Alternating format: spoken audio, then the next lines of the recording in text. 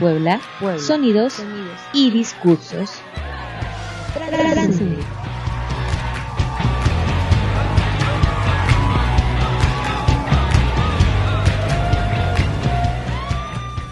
¿Qué onda, Kinini? ¿Cómo estás, Kinini? Hola, querido Hugo. Bien, este, bueno, mm, vengo recientemente de una endodoncia, entonces tengo aquí, este, híjole, estoy, todo esto lo tengo dormido, pero no parece, ¿verdad? Así que todo bien. No se, no se ve, se ve una almohada por aquí más. no, aquí me... Está comiendo... No, se siente. Kinini, que acabas de regresar también de Bolivia. Así es, es correcto. Kinini, cuéntale cómo es tu música y por qué decidiste ¿Cómo es? Sí. ¿A, Bolivia? ¿Por qué me decidí ir? Bueno, pues... Mm, pues estaba aquí con Eli, eh, de, que es boliviana, que estábamos presentando el disco de Águila y Cóndor. Y bueno, estaba muy bonito, ella es una excelente cantante. Y bueno, decidimos como que seguir como la gira en Bolivia. Entonces, este, eso fue lo que me jaló esta vez para Bolivia, ir a seguir la, la gira con Águila y Cóndor. Entonces, este, eso, primero hicimos, este, llegué e hicimos una gira por todo Bolivia y este, luego descansamos un rato y volvimos a salir y este, y ya luego me quedé, me, como que me ambienté mucho en la ciudad de Cochabamba y pues ahí me, ahí como que me hice mi, mi base. Déjenme decirles un poco de la trayectoria de Kinini, porque Kinini viene de tocar en una banda también que se llama Cacadero. Hizo los diferentes proyectos. Yo lo conozco desde bebé, tengo el honor de conocerlo. Ah, sí. claro, claro. Es, es un chico con, con mucha trayectoria. como que le, le dijeras al público cómo describes tu música. ¿Mi música? Sí, sí, descríbela. Mm, bueno, o sea, como que todo empezó porque no había algo, digamos, contra lo que rebelarse, ¿no? Porque yo vengo de una, de, pues, pues, de una, de un padre guitarrista, rock and rollero, rebelde, entonces no había que rebelarse, ¿no? Porque, entonces, este, la música que hago actualmente es como una rebelión contra el rock and roll y como con, los estatutos del jazz y todo esto. Entonces, ahora como lo que hacemos en, Bolivia, em, pues es como rechazar mucho realmente así como jazz, rock, todo lo que tenga que ver con este sentido, digamos, de alguna manera blanquizante, ¿no? Porque allá estando viviendo el folclore boliviano, pues es fuertísimo, ¿no? O como vivir, o sea, las sicureadas y la cosa con los charangos y eso es, es muy, muy, es, es, es algo que me gusta mucho, ¿no? La, la, profundidad de los vientos y el charango. Y este, y entonces como que, em, como que la búsqueda musical ya no, como, ya no tenerla como en, una primera dimensión, el esto que escuchamos todo el tiempo, ¿no? Que yo, allá atrás, bueno, estoy en casa de mi papá y pueden ver aquí así su estudio, los Beatles y no sé qué. Pues yo crecí aquí así, ¿no? Y a mí me gusta. Sí. Y a mí me gusta mucho eso, ¿no? O sea, todo bien, lo respeto mucho, pero ya en mi búsqueda como, digamos, identitaria de lo, de lo que suena más allá de lo que sea de lo que vino a partir de los años 50, 40, ¿no? que es cuando empieza a, integrarse el sonido del rock, el jazz y todo lo que venía de Estados Unidos, ¿no? Y entonces esa cultura que empieza así como a, permear en nosotros, este, como, que lo, como que lo empezamos a llamar música culta, ¿no? Y, y, no, no es que no lo sea, ¿no? Pero, eh, pero también, o sea, es como que, ¿por qué, no? Desde pequeño, como pueden ver, yo soy así como pues, güerito, ¿no? Blanco. Y desde pequeño creo que fue una pregunta fundamental la que como que me, me ha seguido hasta estos días, ¿no? ¿Por qué soy güero en un país de indios? ¿Por qué no nací moreno? Entonces siempre ha sido, siempre ha sido como mi, mi, mi como un tema identitario desde muy niño, como desde los Cuando tú me, cuando yo te conocí, creo que no, yo era demasiado niño todavía, decía, gugu, dada. Pero ya después sí fue esa pregunta de por qué en la escuela, por qué yo soy güero y por qué todos son morenitos y por qué, por qué, por qué, por qué, por qué, ¿no? Entonces, en esta búsqueda identitaria, pues mm, como que em, mm, no sé, o sea, como los sonidos, no sé cómo explicarlo, pero lo que, ¿qué es lo que se escucha acá? realmente, más allá de toda este, esta, esta este, inmersión en la música occidental, ¿no?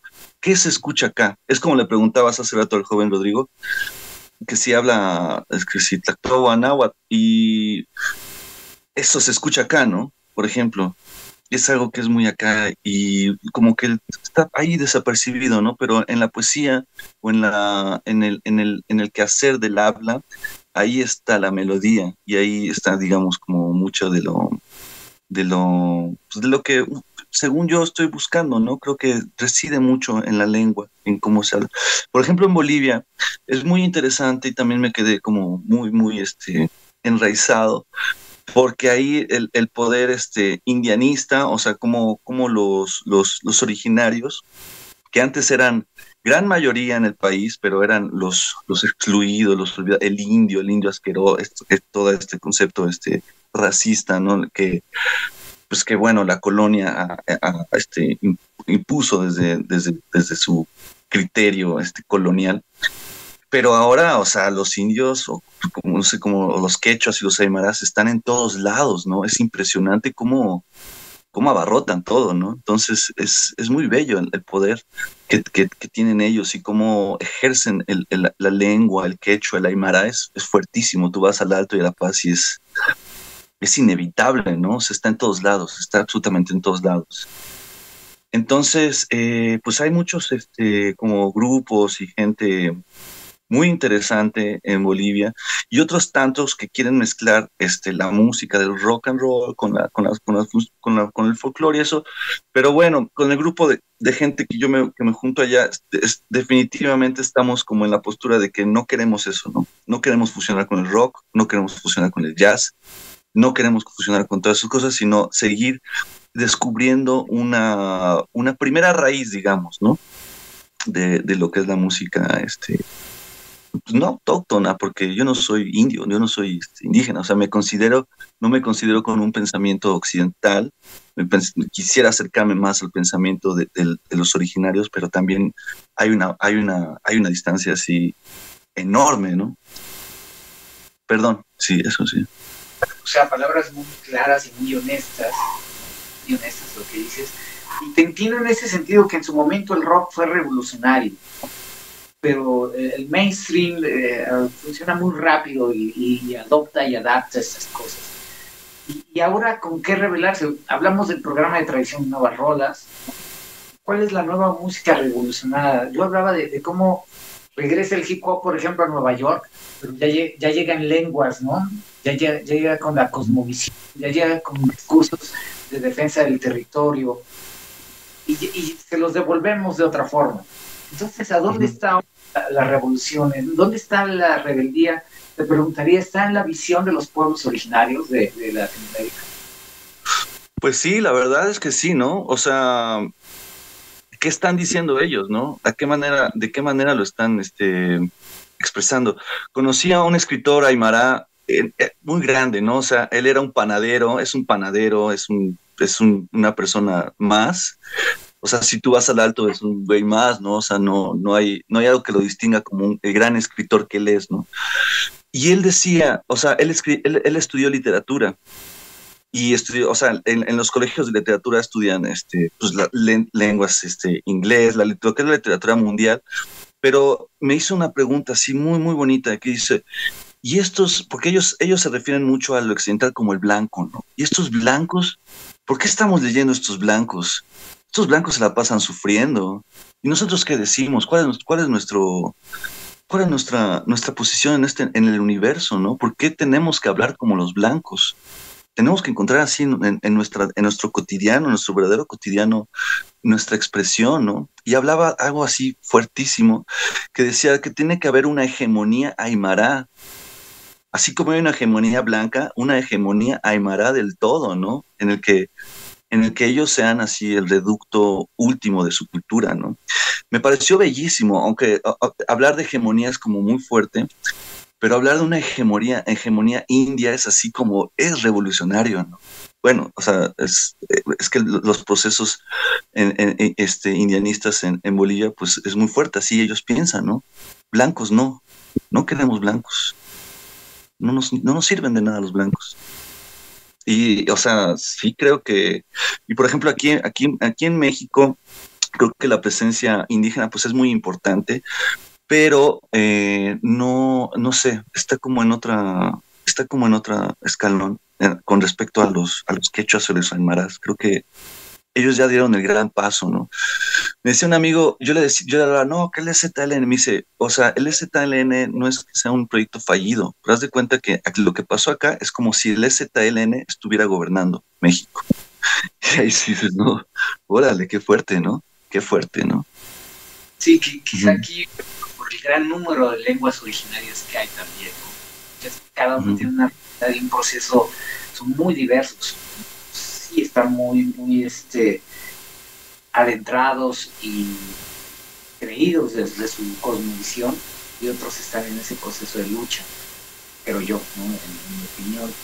Pero también quisiera hablar un poco de la estética, porque ya hablamos del discurso que tiene aquí, pero la técnica que tiene esa guitarra es impresionante.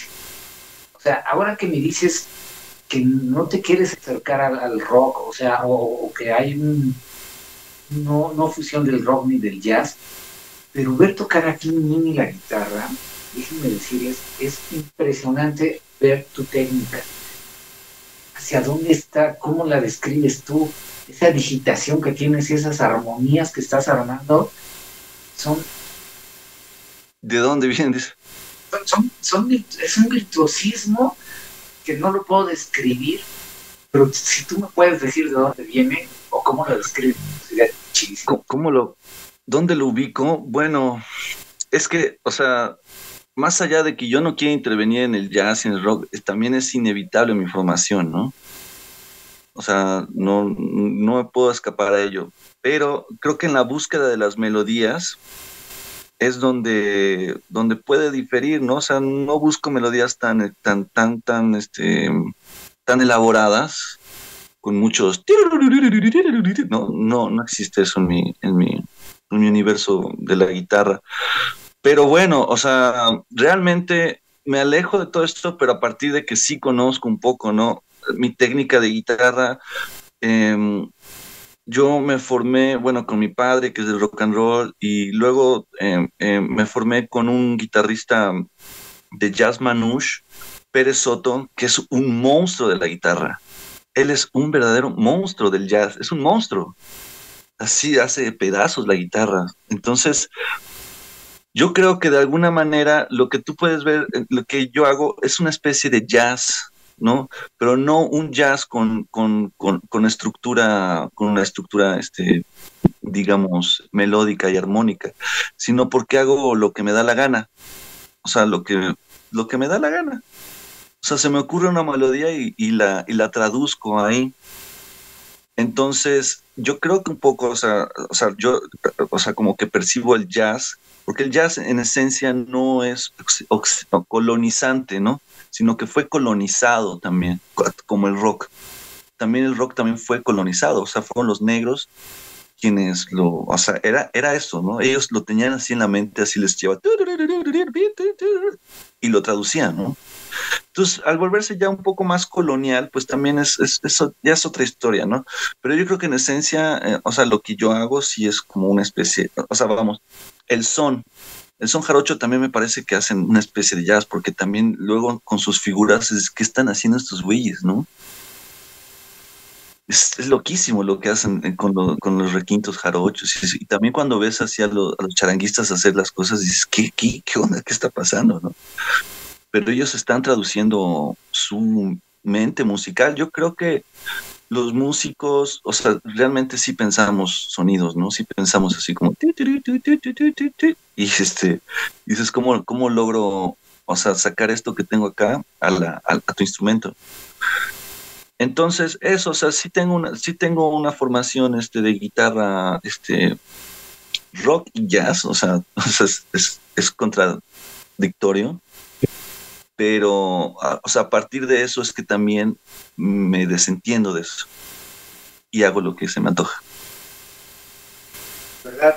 Yo las invito y los invito a que vean aquí, parece un acto de magia, tan sorprendente lo que está haciendo en el escenario. Y bueno, lo, conozco desde hace mucho tiempo, pero has depurado también tus canciones. Ahora las siento más contundentes. Ya, ya no son kilométricas, y, son muy fuertes. Tienes un mensaje ya muy claro y preciso. No sé si hiciste esta chamba también, tú la ves así, Adrián. De hacer con, mi, es que sabes que, que se me corta un poco tú cuando hablas como que se corta no no no no llega directo decía si, si habías depurado tus canciones porque antes eran muy extensas ah sí sí sí em, o sea que si las he retrabajado Sí, sí. Em, sí, o sea, todavía, o sea, lo que escuchaste tú ese día en, el Caruso, pues es una parte, ¿no? También, o sea, yo me he dado cuenta, yo también tengo el pecado de no haber editado ningún disco, yo como yo, ¿no? No tengo ningún disco editado.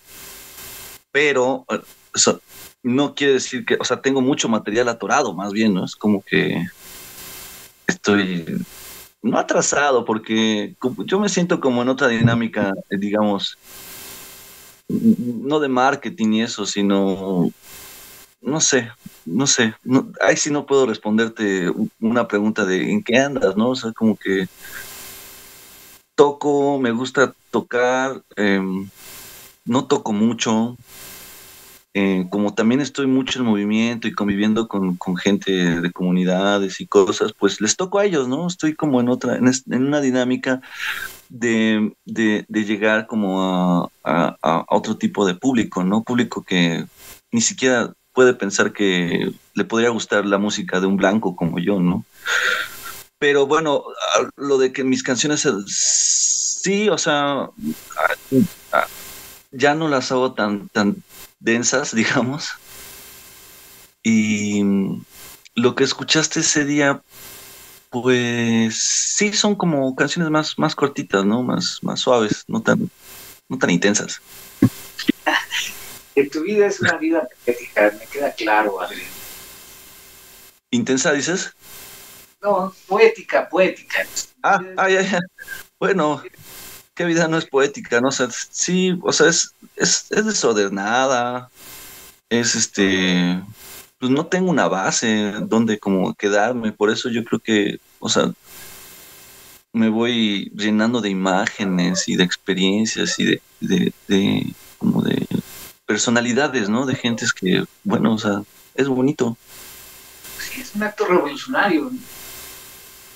Pues sí, o sea, también privilegiado, ¿no? Porque tengo, puedo hacerlo. Puedes hacerlo, pero si puedes hacerlo, sí. hazlo. Revoluciona, claro que sí. Queda decirle a que si te lo topan, escúchenme. No dejen pasar la oportunidad porque no está en la lógica de un disco, no está en la lógica del bar en la noche. Pero escuchar y ver a Kimini es un privilegio en verdad se lo digo yo, es un privilegio, es un privilegio. Cuando lo puedan ver y escuchar, háganlo. Muchas gracias, ¿Dónde te pueden encontrar? si puedes trazar una ruta. Una ruta de... Bueno, ahorita estoy en Puebla. ¿Estás, estás en Puebla ahorita y te vas a Corea, tengo entendido. No, no, más bien, este, más bien es, ya, ya, voy a dejar mi denuncia enérgica. No, no voy a Corea, tuve muchos problemas con el grupo que vine yo por ello, por, para irme a Corea y de pronto aquí como que, no sé, se hizo todo un, una hecatombe y pues yo prefiero trabajar en condiciones en las que la creatividad pueda fluir con los con las personas con las que estoy trabajando, ¿no? Y ahora como que la energía está atorada con estas personas y este y decidí no ir, ¿no? Entonces, este, pues voy a seguir viajando ahorita por México. Eh, bueno, más bien, o sea, lo que hago también es un espectáculo de títeres que es itinerante, o sea, el espectáculo es en biciteatro. Yo lo llamo así porque voy en bici y y siempre te encuentras una comunidad, un algo donde puedas, donde puedas presentarte. Y bueno, la autonomía de, de, poder tener una, un carrito con bici para tener mi mesa, mi teatrino, mis luces, todo, y que, vamos, o sea, como, sí, pensé un, tiempo como, de, como dedicarme a hacer un, un juglar a este moderno. Pues ahí tiene usted, señorita, señora, Sí, es bonito. un, artista, yo digo que con una vida poética, no es tan fácil el estilo coxa o blanco, pero sí Ay, no te escucho. Es que como que se va. Estoy, hablando, este estoy hablando bonito. Ah, Hay pocas cosas. Y tú es un mito, es un mito viviente nos quedamos escuchando un poquito de ti. Te agradecemos mucho la entrevista. Hugo, muchas gracias a ti, a ti, este, un abrazo grande. Espero este, podamos echarnos una chelita pronto o ahí algo. Carnal. Señorita, no la conozco, pero este, gracias. gracias.